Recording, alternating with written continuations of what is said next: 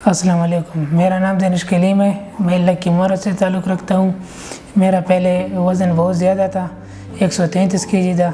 मैं इधर Afridi medical complex आया और डॉक्टर मुश्ताक साहब ने मेरे सर्जरी करवाई और मेरा वज़न अब सतासी के जी है। मैंने छः महीने में तकरीबन छियालीस किलो वज़न लॉस किया है और इन मैं बेहतर महसूस कर रहा हूँ।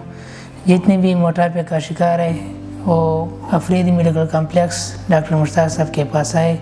और सर्जरी करवाई इस सर्जरी की कोई नुकसान नहीं है।